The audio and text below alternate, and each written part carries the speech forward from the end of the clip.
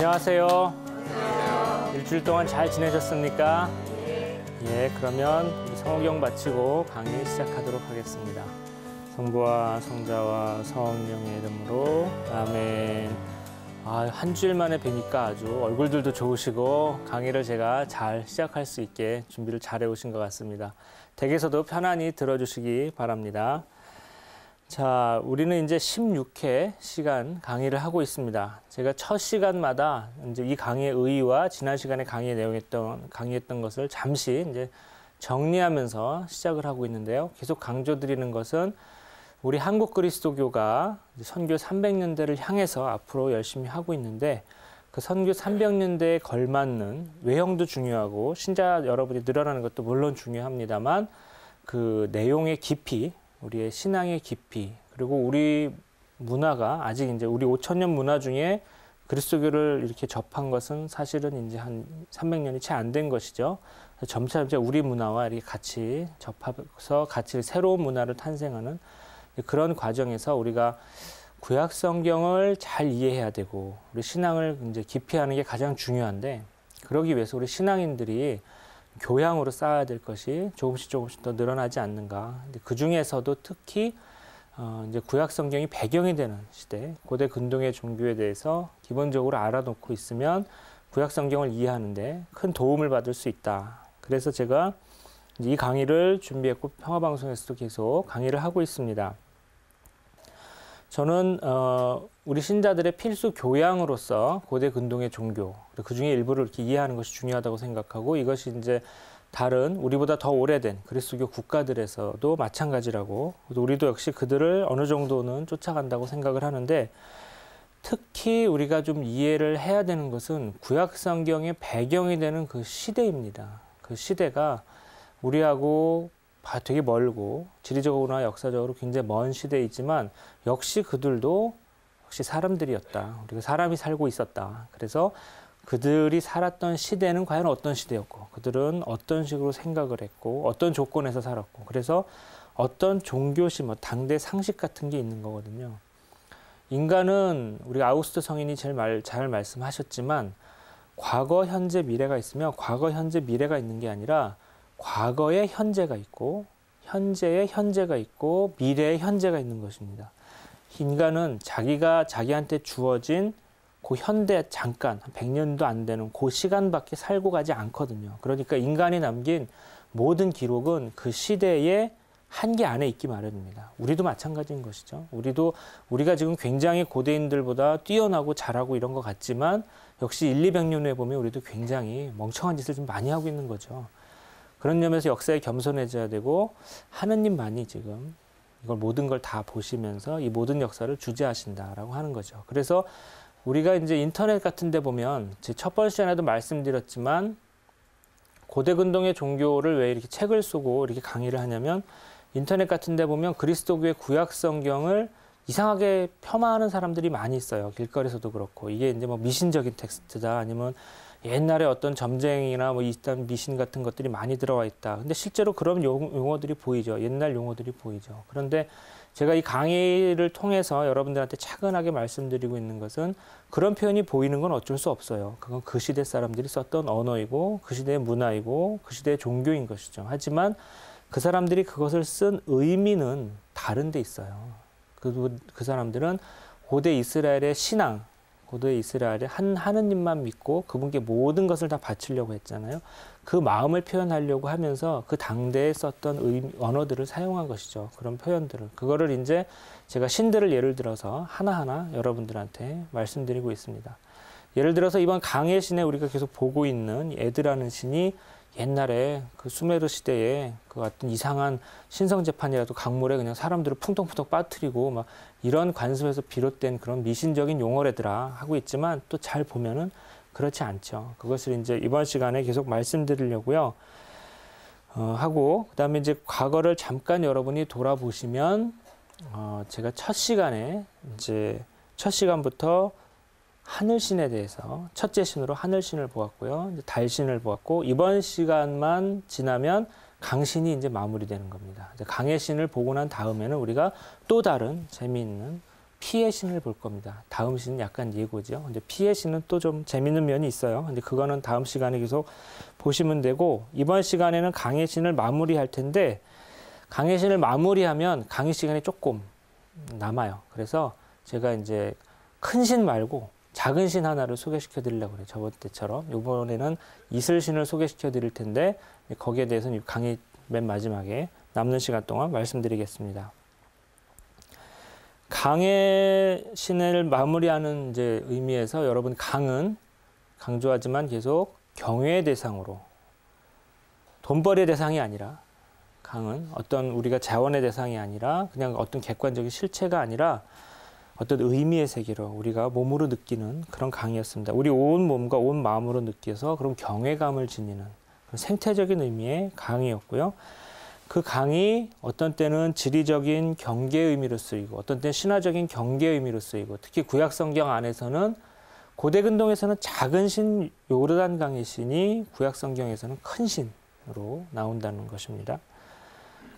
그리고 어, 강의 신 강과 관련된 굉장히 재밌는 함무라비 법전 조항을 우리가 저번 시간에 보았습니다. 그래서 강에 풍덩 빠뜨리는 것도 보았고 당대는 대개 대단히 합리적인 그런 판결 방법도 우리가 이제 보았습니다. 그리고 그 당시와 비슷하게 지금도 합리적으로 로또를 한다든지 이제 하는 것도 우리가 보았습니다. 인간의 어떤 한계랄까요? 그런 것도 보았고 이제 우리는 그 고대의 이드 그리고 아카드로 이트 히브리 말로는 에드라고 하는 그 강이 구약 성경에서 어떻게 표현되고 있는지를 보다가 이제 저번 시간에 끝났고 이번 시간에 계속 이어서 마무리하겠습니다.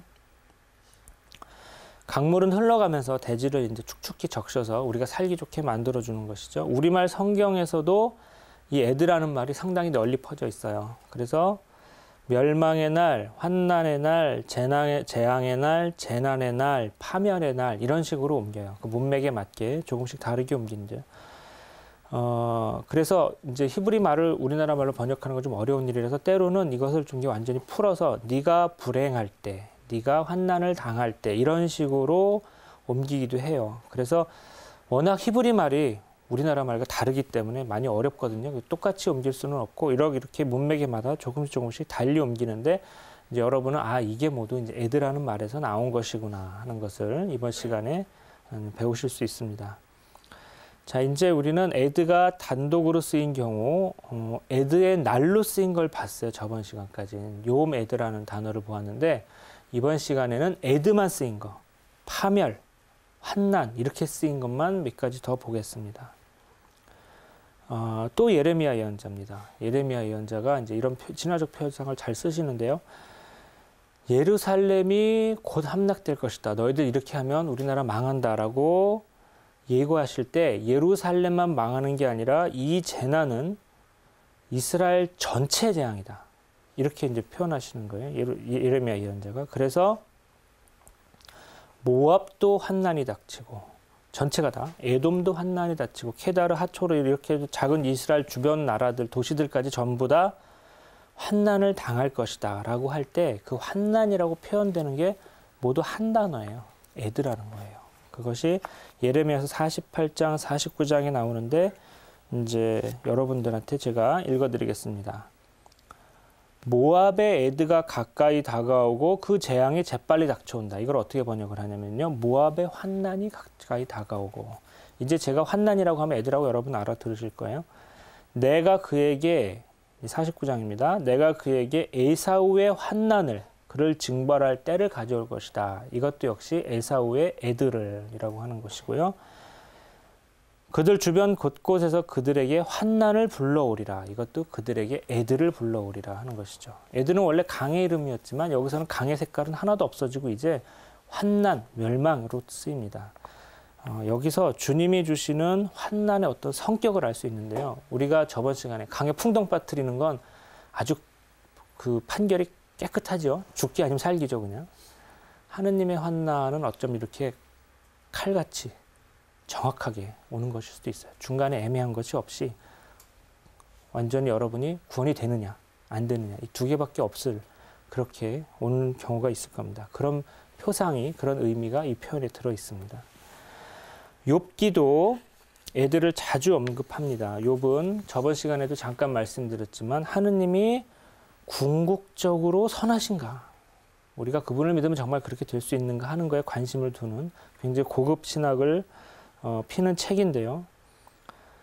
만약에 상선벌악, 선한 거한테는 상을 주고 악은 벌을 하신다 주님이. 상선벌악의 원리가 있다면 에드는 악인에게만 닥칠 것이다. 환난은 악인에게만 닥칠 것이죠. 하지만 그렇게 보이지 않지요. 세상사는 반드시 그렇지 않아요. 그러니까 어, 욥기가 이런 식으로 말씀하십니다. 어, 교재의 136쪽입니다. 그의 기력이 메말라가 그가 넘어지면 바로 멸망이다. 이렇게 할 때 애들을 쓰고요. 악인들의 등불이 얼마나 자주 꺼지든가 바다 마땅한 파멸이 얼마나 자주 그들을 덮치던가 그분께서 진노하시어 고통을 내리시던가 여기서 애들가 쓰였어요. 애들을 읽어드리면 악인들의 등불이 얼마나 자주 꺼지던가 이것은 악인들의 등불이 꺼지기라도 하냐 이 말이에요. 바다 마땅한 애들, 바다 마땅한 파멸이 얼마나 자주 그들을 덮치던가. 그들은 파멸을 받아서 바, 마땅하지만 별로 그렇게 안 덮치는 게 보인다 이런 것이죠. 그분께서 진노하시어 고통을 내리시던가. 나를 몰아내고 나를 거슬러 멸망의 길, 에드의 길을 닦는다네. 불의한 자에게는 에드, 나쁜 짓 하는 자에게는 재난이 아닌가. 근데 왜 이렇게 안 내리는가? 이렇게 욥기는 계속 하나님한테 질문을 던지고 있습니다. 하느님의 에드가 나에게는 두려울 수밖에 없고 그분의 어미를 내가 견디어내지 못할 것이기 때문이네. 어, 에드의 날이 미래에 나, 닥칠 어, 멸망의 날, 심판의 날이 아니라 과거에 닥쳤던 그 그런 심한 어, 고통의 날 이런 걸 이렇게 다, 어, 의미하는 걸 보셨는데요. 에제키엘에서도 에드 자체도 그렇게 얘기가 됩니다. 너는 옛적부터 적개심을 품고 이스라엘 자손들이 환난을 당할 때 그들이 마지막 벌을 받을 때 그들을 칼날에 넘겨버렸다. 과거 이스라엘 자손들이 환난을 당할 때 애들을 당할 때 이렇게 표현하는 겁니다. 자, 에드의 날에 대해서 하나만 더 보고 여러분들한테 에드의 날을 이제 마치겠습니다. 지금 제가 이렇게 성경 구절을 계속해서 말씀드리는 건 에드가 성경이 어느 한 구석에만 잠깐 나왔다 사라지는 단어가 아니라 굉장히 널리 마치 강물이 대지를 적시듯이 우리 구약 성경 전체에 널리 축축히 퍼져 있다 그런 뜻입니다. 그래서 자꾸 이제 예를 드리는 거예요. 잠언에 보면은 이제는 개인적인 불행의 시간으로 애들을 씁니다.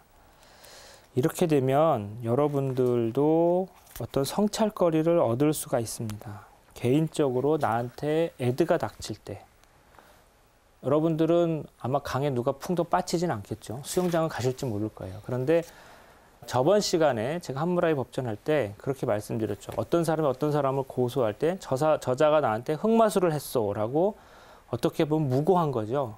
증거도 없이 얘기한 거잖아요. 그런데 그 사람을 강물에 빠뜨리면 강물에 빠진 사람은 얼마나 억울하겠어요. 그렇죠? 나한테 애드가 닥치는 건 그런, 그런 거예요. 여러분 인생을 살다 보면 그런 게 닥칠 수가 있어요. 내가 난 아무것도 안 했는데 내가 왜 강물에 풍덩 빠져야 하나. 그렇죠? 개인적인 불행의 시간, 예고 없이 찾아온 내 인생의 불행의 시간을 애드라고 표현을 해요. 어쩌면 그렇게 다가오는 거예요. 그런데 만약에 여러분이 그렇게 빠진 사람이라고 생각을 해봐요. 아니면 독을 먹어야 되거나 불의를 걸어가야 할지도 몰라요. 거기서 여러분들한테 남는 건 어쩌면 하느님 신앙밖에 없을 거예요. 나한테 닥친 애드의 날, 나한테 닥친 애들을 나는 어떻게 극복을 할까? 잠언에 이런 표현이 나옵니다. 1장 26절에 보면은 어, 나도 너희의 애들을 너희의 애드에 웃고 너희가 불행을 당할 때 웃고 파멸을 당할 때 비웃으리라. 파멸이 너희에게 폭풍처럼 닥치고 애드가 너희에게 태풍처럼 들이치며 곤경과 재앙이 너희 위로 닥칠 때 나는 그렇게 하리라. 이런 말씀이 있고 잠언 6장 15절에 보면 그래서 갑자기 에드가 들이닥쳐 순식간에 망하면 구제할 길이 없다. 잠언 17장 5절에 보면 가난한 이를 비웃는 자는 그를 지으신 분을 욕하는 자 남의 애들을 즐기는 자는 벌을 면하지 못한다. 남의 불행을 비웃는 자는 별을 면하지 못한다. 잠언 24장 22절에 보면 그분들이 내리시는 애드는 갑자기 들이닥치는 법. 그 두 분이 일으키시는 멸망을 누가 알겠는가? 여러분이 이 애들을 이제는 개인적인 영성의 맥락에서도 생각해 보시기 바랍니다. 이제 잠언 이런 구절을 읽으면 우리가 성경에서 묵상을 하거나 개인적인 묵상을 할 때 나한테 불행이 닥치면 나는 어떻게 할 것인가라는 것은 가끔 해보는 묵상이죠. 고대 이스라엘인들도 그런 생각을 했던 겁니다. 우리하고 똑같은 사람이기 때문에 그들도 예고하지 않은 불행이 닥치거나 예고하지 않은 고통이 닥칠 수 있었겠죠. 그때 그 고통을 어떻게 표현을 했냐면 애들하고 표현을 했어요. 고대 이스라엘의 이 책의 부제가 고대 이스라엘의 영성이잖아요. 고대 이스라엘의 영성도 그런 식으로 표현이 되었던 거죠. 이제 여러분들은 적어도 에드에 관해서는 어떤 영성적인 맥락도 아시고 여러분 개인적으로 스스로 어, 묵상을 할 준비가 어느 정도 되신 것 같습니다. 잘 되셨길 바라고요. 저는 이제 어, 하나만 더 얘기 드리겠습니다. 강의 종교심으로 돌아오면은 수메르 시대부터 신성 재판의 최종 판결자로서 대단한 권위를 누리던 게 이제 강이죠. 근데 그 강은 강이 정의와 관련되는 건 메소포타미아에 국한되지 않고 고대 히브리의 이스라엘의 바로 옆 동네였던 고대 이스라엘의 옆 동네 우가리에서도 그랬어요. 예를 들어서 강의 신이 나하루인데요. 나하루의 호칭이 뭐였냐면은 판관 나하루였어요. 판관이라고. 강은 판관이었어요. 재판관이신 강님 정도 될 거예요. 재판관이신 강. 우리나라식으로 하면 강이 정의를 판결하는 주체다. 이런 게 있었어요. 그런 게 종교심이 널리 퍼져 있었죠. 구약 성경도 이 영향을 받아서 어쩌면 얘들라는 말을 수용했을 수도 있어요. 그런데 구약 성경에서는 고대 근동에 갖고 있던 신화적인 표상을 탈각시켰어요. 껍질을 벗겨냈어요. 그걸 탈신화라고 한다고 그랬죠. 그래서 이스라엘 신앙 안에서 새롭게 생각을 했는데 자, 최후의 심판 같은 우리가 강물에 빠지는 것 같은 그런 에드의 날이 우리한테 올 수도 있어요. 그런데 그리고 우리 민족 전체가 어떤 그런 걸 당할 수도 있고 하지만 이제부터 그 심판의 주체는 누구예요? 하느님이세요. 이제 하느님이 내리시는 심판으로 바뀐 거죠. 구약 성경에서 에드의 날, 심판의 날, 환난의 날을 정하시는 분도 그날이 언제인지를 정하시는 분도 하느님이시고 그 심판의 주체, 심판하시는 분도 더 이상 강이 아니라 하느님이세요. 구약 성경은 애드라는 개념을 받아들여서 고대 근동의 종교의 맥을 이었지만 다른 한편으로는 그 강에서 심판하는 자의 권능을 싹 빼서 우리 하느님한테로 다 돌렸어요. 그래서 이게 두 본문이 구약 성경 본문과 고대 근동 신화의 본문이 얼핏 비슷해 보이지만 들어가 있는 속도가 완전히 다른 거예요. 이스라엘 사람들은 비슷한 그 당대에 쓰이는 언어를 가지고 굉장히 독특한 신앙을 표현하는 데 사용을 했어요. 이게 다른 점이죠. 이렇게 야훼 신앙으로 재신화된 애들은 구약 성경에서는 이제 그냥 환란, 재난 이 정도 뜻으로 쓰이고 어, 우리도 이제 특별히 신화적으로는 번역하지 않죠. 이렇게 이제 설명을 해드려야만 번역을 할 수 있는 것이고 이거를 이제 야훼 신앙 안에서 신학적인 발전을 이루었다. 이제 이렇게 되는 건 다른 나라 그 문헌에서는 볼 수 없고 이스라엘에서만 볼 수 있는 것이죠. 그래서 구약 성경에는 여전히 강과 정의가 연결이 돼요. 그 문학적 표현의 흔적을 없애지도 않았고 강과 정의가 연결되는 문학적 모티브는 그대로 유지되는 것이죠. 정의의 예언자 아모스. 아모스는 정의의 예언자, 사회적인 발언을 많이 하고 사회 정의를 많이 부르짖는 예언자죠. 그런 표현 중에 우리가 아모스서 5장 24절에 이런 표현이 있어요. 여러분들 많이 보실 텐데 다만 공정을 물처럼 흐르게 하고 정의를 강물처럼 흐르게 하여라. 정의는 강물처럼 이거 시국미사에서 제일 많이 나온 표현이에요. 정의를 강물처럼이라는 표현이 왜 나왔는지 여러분 이제 이해하실 거예요. 정의가 왜 정의를 강물처럼 70년대 80년대 데모할 때나 시국미사 지금도 많이 쓰지만 그게 구약 성경에서 나온 거라는 게 여러분들이 알지만 왜 하필이면 정의가 강물 같은가? 이제 여러분 이 시간을 통해서 아셨을 것 같아요. 정의는 원래 강물처럼 흘러야 되는 것이고 강물이 세상을 모든 걸 다 적시듯이 정의는 누구, 모두한테 골고루 다 좋게 만드는 것이죠. 자, 정의를 강물처럼을 이제 여러분 아셨으면 저승을 건너는 강에 대해서 하나만 더 말씀드리고 여러분들한테 강에 대해서는 이제 마치려고 합니다. 수메르어로 강의 이름 중에 후브루 강이라는 게 있어요. 좀 이상하죠? 이름이 따라해 보세요. 후브루. 이게 H 밑에 이렇게 낫 표시를 하나 있잖아요. 후브루가 아니라 호브루라고 발음해요. 가래가 확 끓어야 돼요. 호브루 강이요. 따라해 보세요. 호브루. 예. 잘하셨어요. 후브루 강을 건너면 죽음이에요. 저 강을 건너면 우리는 죽음의 세계로 들어가는 레떼의 강 같은 옛날에 죽음의 강이에요. 저승의 강, 인간을 삼키는 강, 그런 강이에요. 이 강을 어떻게 건너냐면요. 이 강에는 신화에 보면 뱃사공이 하나 있어요. 어디 가는 뱃사공이 하나씩 꼭 있어요. 그 뱃사공이 있는데 어, 길가메시 서사시에 보면은 길가메시가 이 강을 건너요. 건너는데 죽음의 강이 나와요. 후브로 강과 같은 강이죠. 말은 조금 다르지만 인류의 가장 오래된 서사시죠. 길가메시가 이 강을 왜 건너냐면요. 죽음의 강이니까 저 강을 건너면 생사의 열쇠를 진 사람이 있어요. 그 생사의 열쇠를 진 사람을 만나서 내가 죽지 않고 살고 싶다. 그 비밀을 알려다오. 이 말을 하려고 가는 거예요. 그 사람들이 길가메시한테 너 저 강만 건너가면 돼. 그래서 저 드디어 저 강에 갔고 저 강 앞에서 어, 뱃사람을 만났어요. 뱃사라공의 이름이 우르샤납이라는 사람. 그이 사람들이 보통 사람은 아닌데 이 사람이 자 내가 이제 후브르 강에 왔어요. 길가메시가 나를 좀 건너다 주오. 그러니까 또 그런 뱃사공은 함부로 잘 안 건너다 줘요. 거기서 무슨 내기 같은 겨루기를 해요. 겨루기를 해서 길가메시가 이겼어요. 꼭 이기죠, 이제 얘기가 되려면. 그래서 그 강을 건넜다는 이야기가 나와요. 우리 보통 사람은 저 강 근처에 갈 수도 없고 저 강에서 그런 뱃사공을 만나도 그 뱃사공과 겨루어서 이길 수가 없지만 길가메시는 대단한 영웅이고 초인이니까 그걸 다 이기고 이제 저승에 갔어요. 그 저승을 강을 건너서 갔는데 길가메시는 게다가 갔다가 돌아오기까지 했어요. 다시. 그런 길가메시가 훌륭한 영웅이다라는 걸 얘기해 준 거죠. 후브르는 그 자체가 신의 이름이었어요. 후브르라는 신이 있었어요. 그 신의 이름이기도 했어요. 그래서 에누마 엘리시라는 서사시에 보면은 후브르가 140쪽에 보면 모든 것을 만든 어머니 후브로 이 강호에서 모든 것이 다 나왔다 이렇게 얘기되고 있죠. 이 저승의 강이라는 이름은 여러 개가 있는데 저승의 강이 이름이 여러 개예요. 어, 시리아 팔레스티나 지역하고 우가리 이스라엘과 가까운 지역에서는 똑같은 강을 쉴라후라고 불렀어요. 따라해 보세요. 쉴라후. 그런데 이 쉴라후는 히브리어로 쉘라흐가 돼요. 따라해 보세요. 쉘라흐.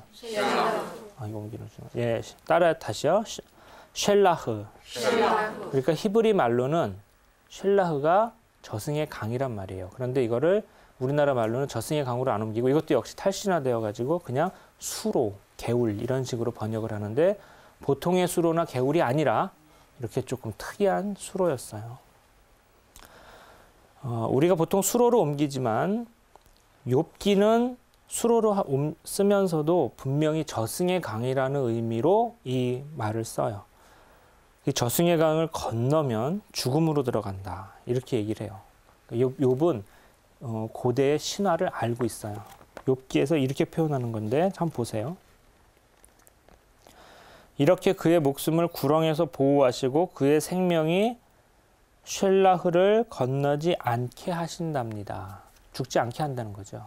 하느님께서 수로를 건너지 않게 하신답니다. 이렇게 번역을 했죠. 그리고 그러나 순종하지 않으면 죽음의 쉘라흐를 건너게 되고 깨달음 없이 숨을 거두게 됩니다. 우리가 하나님한테 순종하지 않으면 죽음의 강을 건너게 되고 우리가 죽기 전에 깨달음 없이 숨을 거두게 된다는 그러니까 이 쉘라흐를 건너면 죽음의 강을 건너게 되는 거죠. 이것도 역시 간단하게 말씀드리면 신화적 강이라는 표현은 썼는데 그 신화적 강을 건너는 권능 누가 이 강을 건너게 해주시냐면은 뱃사공이 아니라 하느님께서 건너게 해주시는 거고 이 신화적 강을 모두 통제하시는 분도 역시 하느님이시라는 거예요. 길가메시 서사시에 등장했던 어떤 초인적인 영웅, 그 다음에 되게 되게 재미있는 이상한 뱃사공, 거기서 나오는 모든 인물들이 구약 성경이 다 사라지고 하느님하고 나밖에 안 남은 것이죠. 그러면서 고대 이스라엘 사람들은 하느님 신앙을 표현하고 있는 것입니다. 오직 생명을 주관하시는 하느님과 하느님의 정의를 논하는 신앙인들만 남았어요. 하느님은 생명을 지켜주시는 분이시고 저승의 강 앞에서 내 이거 문제 내면 너 저승의 강을 건너줄게. 나랑 이겨내면 저승의 강 건너줄게. 이렇게 하는 게 아니라 저승의 강 앞에서 생명을 보호하시느라고 우리한테 이 강을 건너지 말라라고 자유롭게 얘기해 주시는 분처럼 나와요. 하지만 순정하지 않는 자는 저승의 강을 건너서 깨달음 없는 헛된 인생, 인생을 살게 될 것이죠. 그 밖에 우리가 아까 후브르라고 그랬는데 하보르라는 이름이 하나 더 나와요. 구약 성경에. 아까 후브르하고 비슷한 이름이죠. 하보르라는 이름이 히브리 말로도 있고 구약 성경에 딱 세 번 나오는데 어떤 의미도 아니고 지명으로 나와요. 근데 이거를 신화적 의미가 별로 없는데 제가 히브리 성서를 읽다가 여러분들하고 그냥 어떤 느낌을 하나 나누기 위해서 이 책에 적어 넣은 거예요. 아시리아의 신 아시리아의 사르곤 2세가 우리가 이제 남부 강조가 구약 성경에 있었죠 이스라엘이. 그래서 북왕조가 먼저 망하고 그 다음에 이제 남왕조가 망했는데 북왕조는 아시리아한테 망했고 남왕조는 바빌론한테 망했죠. 근데 북왕조가 망했을 때요. 아시리아 제국의 북왕조가 망했을 때 이제 전쟁에 패했어요. 그래서 이제 북왕조의 그, 그 백성들이 이제 나라를 잃은 약소국의 백성들이죠. 삶이 굉장히 비참했을 거예요. 강제로 고향을 떠나서 이역 말리 낯선 곳에서 살아야 하는 것이죠. 그러면 이제 앞으로 저 땅에서 우리는 어떻게 살까? 먹고 살 수는 있을까? 얼마나 춥고 배고플까? 굉장히 걱정을 많이 했을 거예요. 그래서 성경에 보면은 이 사람들이 그때 끌려갔다라는 얘기를 하는데 끌려간 곳이 어디냐면은 하필이면은 하보르예요. 이 열왕기, 그러니까 열왕기 하권 18장 11절, 17장 6절, 그럼 역대기 상권 5장 26절에 비슷한 계명이 나오는데요. 아시리아 임금은 이스라엘 사람들을 아시리아로 유배를 보내어 하라와 고잔강가 하보르와 메디아의 성읍들에 정착시켰다. 근데 하필이면 그 정착시킨 곳이 하보르예요. 저승에 강하고 이름이 똑같은 곳이에요. 아마 이, 이 기사를, 이 성경을 읽으면서 고대 히브리 사람들은 아, 우리 조상들이 거기까지 가가지고 유배를 했구나. 이렇게 느끼실지도 몰라요. 지명의 일치고 우연한 일이지만 저도 이걸 읽으면서 아, 이 이름은 어쩌면 고난의 유배를 상징하는 이름일 수도 있다. 저 친화의 강, 저 끝까지, 그, 어, 세상 끝까지 아마 유배를 간 것 같은 그런 느낌이 들었을 것 같아요. 이상이 이제 제가 일반적으로 어, 강에 대해서 말씀드린 것을 정리한 것이고요. 어, 첫 시간에 강 시작할 때 말씀드렸지만 히브리 말로 강 그러면 제일 많이 나오는 단어가 나하르라는 단어예요. 근데 그 강은 너무너무 상징 세계가 커서 책 한 권을 써도 모자라서 여기서는 한마디도 안 했어요. 저는 뭐 이드라든지 아니면 신화적 경계의 강이라든지 몇 가지 강들만 얘기했고 본격적으로 강에 대한 신화적 상징도 있는데 그거는 다른 기회가 되면 여러분한테 말씀드리고 이거는 일단 몇 가지만 몇 가지 말씀드린 거예요. 그리고 이제 처음에 시작할 때 말씀드렸던 대로 강에 대해서는 이제 다 끝났고요. 어, 시간이 남아서 이제 남는 시간 동안 작은 신, 조그만 귀여운 신, 우리가 이제 시간이 게 작은 신들 하고 있죠. 그 작은 신 이슬 신을 말씀드릴게요. 물하고 계속 비슷해서 강하고도 좀 비슷하고요. 어, 우리가 이슬신을 이 강에서 다룬 적이 있어요, 사실은. 바람신, 풍우신을 다루다가. 어, 이슬이 신의 이름이라는 것도 보았죠. 그러니까 바람신 다룰 때 여러분들 기억나실지 모르겠는데, 이제 이스라엘을 기준으로 봤을 때 지중해 쪽에서 불어오는 바람은 바람이 축축하고 습기가 많기 때문에 그 바람이 이슬 같은 데 맺혀요. 그러니까 나뭇잎 같은 데 이슬로 맺혀요. 그러니까 이 이스라엘 이쪽은 비가 워낙 적게 와서 거기에 맺히는 이슬도 굉장히 중요하다고 그랬죠. 그, 래서 이슬이 신의 이름이 되었는데 작은 신이에요. 예쁜 신이죠. 어, 고대 근동 지역은 물이 귀했고요. 그리고 그큰 강가 아니면은 메마른 땅이라서 농사가 무척 힘들었고요. 그래서 어, 이슬비 정도가 내려주면은 아니면 안개도 굉장히 중요했어요. 그러면은 그 물을 받아서 식물들이 살 수 있었다고 했죠. 그래서 어, 이 우리가 사는 한반도는 이제 좀 복받은 지역이라서 물이 많아요. 댐 많이 안 만들어도 물이 많단 말이에요. 그러니까 여기선 자연적인 저수지도 많고 일단 땅이 축축해서 농사가 잘 돼서 우리는 이슬 그러면 농사에 별로 도움되는 존재는 아니에요. 예쁘고 맑은 이슬, 영롱한 이슬. 그래서 참 먹으면 막 예쁘고 이런 식의 느낌이 있지 이슬이 무슨 농사에 큰 도움이 된다 이렇게 생각하지 않는데 성경에는 안 그래요. 성경에서는 이슬 그러면 농사에 정말 큰 도움이 되는 거예요. 워낙 메마른 지역이라서. 그래서 어, 열왕기 17장에 보면 이런 말씀이 있어요. 이슬도 비도 내리지 않으면 재앙이에요. 우리는 그렇게까지 생각 안 하죠. 구약 성경에 하늘의 이슬이란 표현이 가끔 나와요. 그때 그게 얼마나 소중한 표현인지 여러분들이 이해하셨으면 좋겠어요. 메마른 땅을 적셔주는 이슬이니까 귀하고도 귀한 존재란 뜻이에요. 이슬이 오죽했으면 하늘의 이슬이라고 그랬겠어요. 이 표현은 풍요의 맥락에서 반복되는데 신명기 33장 28절에 보면 이런 표현이 있어요. 이스라엘은 평안히 살고 야곱의 우물들은 안전하게 산다는 거죠. 하늘이 이슬을 내려주는 곡식과 포도주의 땅에 산다. 지금 이제 잘 살고 있다. 이스라엘은 잘 살 것이다. 이렇게 모세가 마지막 어, 그 노래에서 말씀하시는 것인데, 자 이스라엘은 평안히 살고 좋아요. 야곱의 후손들은 안전하게 산다. 근데 왜 평안히 안전하게 사냐면 하늘이 이슬을 내려주는 곡식과 포도주의 땅에 산다. 우리는 하늘이 이슬을 내려주는 정도로는 변호사 못 짓죠. 물 많이 들어요. 근데 여기는 그것만으로도 참 좋다. 이렇게 표현을 하고 있어요. 이와 반대로 하느님의 말씀은 이슬과 같다. 이렇게 표현하는 구절도 있어요. 역시 모세 어, 노래인데 모세는 하느님의 말씀이 하늘에서 내리는 비와 같다. 이렇게 표현을 해요. 메마른 팔레스티나 땅에서 비는 풍요의 상징이죠. 이슬은 비하고 비슷할 정도로 중요한 상징이에요. 잘 들어보세요. 이제 나의 가르침은 비처럼 내리고 나의 말은 이슬처럼 맺히리라. 푸른 들에 내리는 가랑비 같고 풀밭에 내리는 소나기 같으리라. 하느님의 말씀은 이 메마른 지역에서는 비처럼 내리고 이슬처럼 맺히고 가랑비 같고 소나기 같으리 하늘에서 내리는 하여 물은 다 좋은 거예요. 워낙 메마른 지역이라서. 그런데 이슬이 가랑비나 소나기와 같은 급으로 취급될 정도로 중요한 것이었어요. 이슬은 금방 증발되어 버리는 그런 연약한 존재가 아니라 비나 소나기처럼 풍요의 근원으로 당당히 이름을 올리는 놈이에요. 약한 존재도 아니고 영롱하기만 한 존재도 아니에요. 그래서 여러분이 성경 구절을 읽으실 때 이슬이 며칠이라 그러면 여, 아 영롱하고 예쁘다. 하느님의 말씀은 영롱하고 그 예쁜 어떤 것이다. 물론 그렇게 생각하셔도 돼요. 거기서도 이슬은 영롱하고 예뻤을 것이지만 이게 비처럼 우리를 축축히 적시고 우리를 적시는 것이다. 이렇게 생각하실 수도 있어야 돼요. 이렇게 고대 근동의 종교심은 우리와 다르죠. 자연환경이 다르니까 당연한 것입니다. 한반도는 크고 작은 강과 저수지가 자연적으로 잘 발달해 있고 1년에 한 번씩 또 장마도 와가지고 물이 이제 뭐 홍수가 나면 큰일이긴 하지만 어쨌든 물이 부족하지는 않죠. 한반도에서 이슬이 공급하는 물의 양은 별로 많지 않습니다. 그래서 이슬과 풍요를 연결시키는 종교심은 우리한테 매우 낯섭니다. 하지만 구약 성경에는 낯선 게 아니죠. 히브리어로 이슬을 탈이라고 해요. 배탈이 났다. 그 탈이 날 때 탈이 아니라 아니면 탈춤을 출 때 머리에 탈이 아니라 이렇게 하면 잘 외워주시더라고요. 이슬이 히브리 말로 탈이에요. 아랍어로도 지금 탈이거든요. 똑같아요.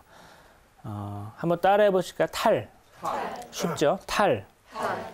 히브리 말로 이슬을 탈이라고 하고 아랍어로도 그렇게 한다고 그랬죠. 히브리어하고 무척 가까운 우가리어로는 탈루라고 하는데 요 우는 주격 조사예요. 그러니까 어근은 똑같은 거예요. 그리고 어, 탈은 분명히 이스라엘 신으로 섬김을 받은 것 같아요. 탈루는 우리가 어, 다윗의 세 다섯째 아내가 아비탈이라는 이름이 있어요. 내 아버지는 탈. 탈을 아버지로 모신 거예요. 그런 게 어떻게 가능했을까? 탈이 굉장히 중요한 신이 있던 거죠. 그러니까 이슬 신은 아마 경배하는 문화가 있었던 것 같아요. 어, 우리가 이제 고대 근동에 잡신들, 신들을 많이 보고 있는데 그 중에서 중요한 신 중에 하나가 사실은 바알이에요. 야훼하고 경쟁했던 우리가 이제 바알 신도 보면 좋은데 이제 이 자, 짧은 강의에서는 다루지 않을 건데 바알이 어떤 신이었냐면 풍요의 신이었어요. 바알 믿으면 건강해지고 아들 딸 많이 낳고 바알을 믿으면 내 가축들도 그 자식들을 많이 낳고 풍요로워지고 성적인 의미도 굉장히 강했어요. 그런 신이었거든요. 돈도 많이 벌고 이제 그런 신을 야훼 신은 배척을 한 거죠. 그런 신은 이제 우상이 되는 것이죠. 바알의 딸이 있어요. 바알의 딸이 셋이 있어요. 그 바알의 딸 중에 하나의 이름이 탈라유라고 해요. 근데 탈라유라는 이름을 사람들이 학자들이 분석하면 뒤에 아유를 빼면 아 이게 이슬신이구나. 아까 이슬신 문화가 있다고 그랬죠. 이슬신을 경배하는 문화. 이슬 신을 경배하는 문화는 바알의 딸을 경배하는 문화이기도 했던 거죠. 바알이 세 딸이 있는데 두 딸의 이름은 여기 적진 않았지만 피드라유와 아르차유라고 하는데 이것도 아마 안개나 비라는 뜻으로 봐요 학자들은. 그러니까 바알의 딸들이 바알은 풍요의 신이었고 왜 풍요의 신이냐면 그 딸들을 통해서 대지를 축축하게 적시니까. 그러니까 아마 우리가 모르긴 몰라도 그렇게 상상을 해볼 수가 있는데 바알의 종교를 믿던 사람은 바알한테 기도를 해서 딸들을 시켜서 비집 내리게 해달라고 했을 수 있어요. 열왕기 상권 19장에서 엘리야 예언자 한 분이 바알 예언자 450명을 갈멜산에서 대적해서 이기는 이야기가 있는데 거기서 엘리야 예언자하고 바알 예언자가 뭐 갖고 싸우냐면요. 비를 내리게 하는 것 갖고 싸워요. 바알의 예언자들은 바알이 비를 내려주겠다고 생각을 한 거죠. 물론 바알은 비를 내려주지 못했고 그때도 비를 내리신 분은 하느님이셨죠. 딸은 이게 바알의 딸의 이름으로 이 신화가 되게 재밌어요. 신화는 그 당시 사람들의 성찰을 담고 있기 때문이죠. 딸은 아버지의 말을 잘 들어요. 그리고 아버지하고 딸은 대체로 친해요. 그러니까 바알의 딸들도 아버지 말들을 잘 들었을 거예요. 이렇게 신들의 세상은 인간사의 반영이기도 하죠. 실제로 바알 신화 출토된 오가리 토판을 보면 바알이 딸들을 칭송하는 대목이 나와요. 내 딸들 참 귀엽다. 내 딸들 참 좋다. 이렇게 말하는 대목이 나와요. 사람하고 비슷하죠. 그리고 바알이 어, 자기가 자기의 신전을 가지면 좋은데 신전이 없어가지고 막 신전을 지으려고 하거든요. 그때 뭐라고 한탄하냐면 나는 내 집이 없어가지고 아직도 내 딸들하고 같이 산다 이렇게 표현하는 대목도 있어요. 이제 그런 거 있죠. 그리고 한 번은 바알이 사람들 앞에서 그 추종자들 앞에서 나타나는데 어떤 모양으로 나타나냐면 새 딸의 모습으로 나타나요. 비의 비의 모습으로 나타나는 거죠. 이것도 역시 바알의 성격을 나타내 주는 거죠. 이슬을 딸로 거느린 풍산신이에요. 바알은 풍요를 가져오는 풍요의 신인데 이슬을 딸로 거느린 풍요의 신 바알은 하늘에서 내리는 모든 종류의 비와 안개와 이슬을 마음대로 부리는 신이 되는 것이죠. 이렇게 되면. 메마른 땅에서 살아가는 이스라엘 사람들한테 이런 능력은 아, 바알이 되게 우리한테 필요하구나. 바알 믿어야 되겠구나. 아마 이렇게 생각하게 만드는 원인이었을 수도 있어요. 그리고 고대 이스라엘의 신학자들은 이 점을 바로 바로 잡아야 되겠다. 참되게 비를 내리시는 분도 역시 하느님이시다. 이런 얘기를 아마 그, 그 당시 사람들한테 강조했던 것 같아요. 저 풍요의 신을 따라가지 말고 하느님을 따라야 된다. 그래서 이제부터는 하늘의 이슬은 바알이 아니라 하느님이 내리신다라고 하는 구절이 구약 성경에 왜 그렇게 많은지 여러분들이 이해하실 수 있을 것이고 그 구절을 몇 개 읽어 드릴게요. 구약 성경에 하늘의 이슬은 하느님께서 내려주신다고 언급하는 구절이 꽤 많아요. 그 뜻인즉 바알이 아니라 야외 하느님이 진정하게 이슬을 내려주신다 이 말씀이죠. 창세기 27장 28절에 보면 이런 말씀이 있습니다. 하느님께서는 너에게 하늘의 이슬을 내려주시리라. 땅을 기름지게 하시며 곡식과 술을 풍성하게 해주시리라. 이렇게 말씀하세요.